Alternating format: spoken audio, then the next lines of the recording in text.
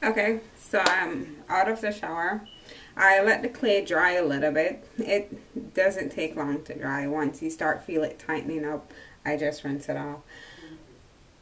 Okay, if I did not do my intense scrub and clay mask, if I just use the cleansing goo, then I will brush my face when it's dry. I don't use towels on my face. I don't use rags. I just let it dry naturally and then when it's thoroughly dry I'll brush. And this is how I brush. In upward motion. I just brush and count to a hundred. So this helps with exfoliating your skin and giving you a more even tone.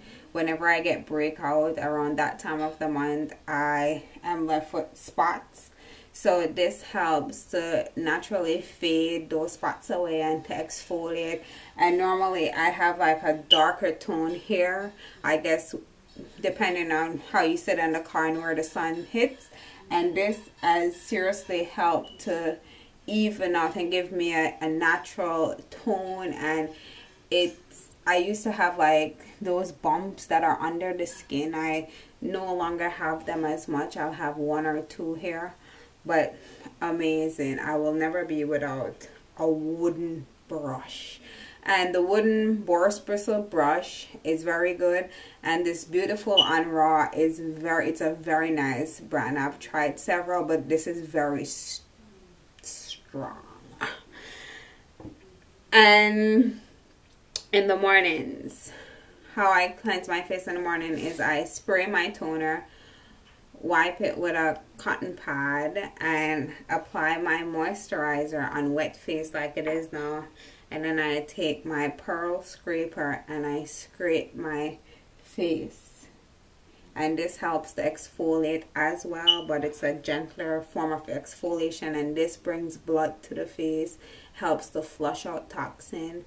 And get on it so continuing on with my night, since I did that scrub and the clay mask, I won't be using my brush. So when my face is wet, I like applying my moisturizer. And this is the once a day moisturizer.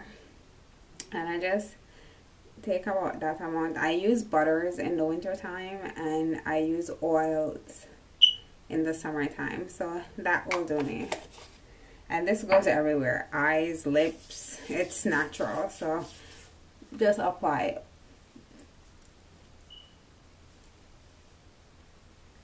So I just massage it in.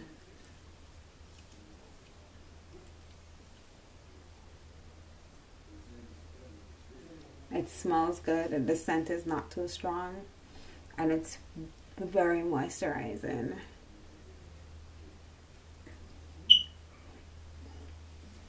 Let's put a little and that's it. That is how I cleanse my skin. Nighttime daytime whatever time. But that's it. That's all. Sometimes I'll put this the coffee and argan oil around my eyes but sometimes I just take this and put it there and I put some on my lips. I mean it's only butters and essential oil. It's nothing to harm you. So if you take some inward, there is nothing there. There's no fragrance oil. There is no chemical. It's just pure natural butters.